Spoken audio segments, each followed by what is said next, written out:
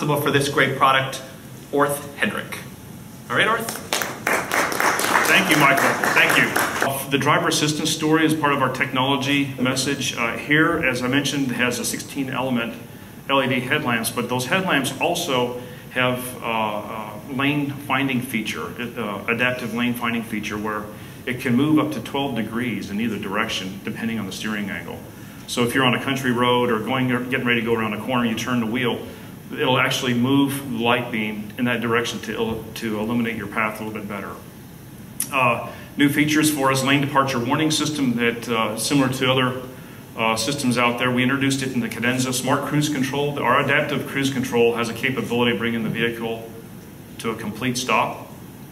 Uh, depending on the traffic, it monitors the distance between you and the vehicle in front of you. Uh, depending on the dwell, if traffic picks back up, the car will reaccelerate to its uh, preset speed on the cruise control. Very nifty.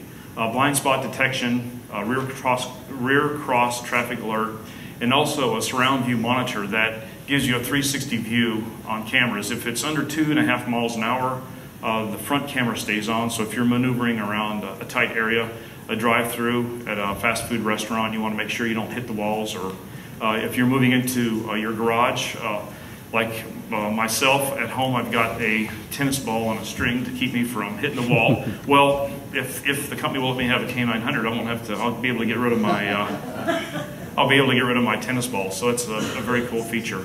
A parking guide system, and also for us, what we're really excited about is a new color heads-up display on the K900. And here the idea wasn't just to put it up there for technology's sake, but to really gather all that important key information that the driver needs on an ongoing basis and display it on the screen in front of you. Speedometer, uh, if you have your cruise control set, it'll tell you your speed, and, and uh, also if you're managing the uh, adaptive cruise control distance, you can adjust it while looking at the screen, which is shown here on the graphic on the left. Uh, if you have a navigation, uh, if you have a navigation uh, set up, you're going to a destination. The next turn on your navigation is displayed right in front of you. You don't have to glance down at the screen or listen to the voice. It's right there for you, which is really, really cool and nifty.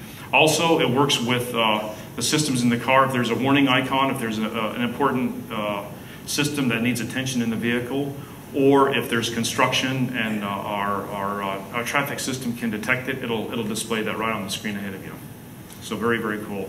Uh, of course, for Kia, this is probably the most important area that we've concentrated on is the safety story. And here, the reinforced body structure really uh, pays huge dividends for us. You know, the, the, high strength steel I mentioned also is coupled with uh, durable, uh, uh crash durable adhesives. And here we've uh, gone to great lengths to ensure that the overlap of the panels when they're joined mechanically also have the addition of an, a structural adhesive to increase rigidity, but also to pay dividends for NVH and then also during a crash event can help manage uh, the, the, the, load path through the vehicle. And I've illustrated here, uh, you can see the, the front, uh, the front crash apron and some of the other elements. Uh, about a total of 85 meters of uh, adhesive is used throughout the manufacture of this vehicle. eight advanced airbags, uh, and also seatbelt pretensioners. And for us, what uh, one, one new feature we're introducing on this car, AVSM, Active Vehicle Safety Management, it's a suite of systems that work together to ensure that uh, there's a, a, safe experience for the driver of the vehicle.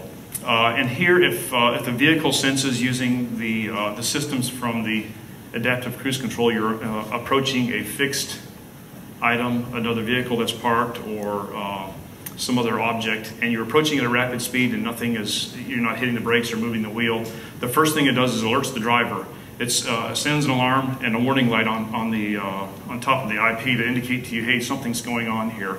Uh, the second, if that doesn't work, uh, vibrates the seatbelts. It actually will tug and pull to get your attention to get you to look up and see what's going on. Uh, next is, in concurrent with that, is uh, it pre-pressurizes or preloads the braking system to get ready for maximum effectiveness in case at the last minute you hit the brakes.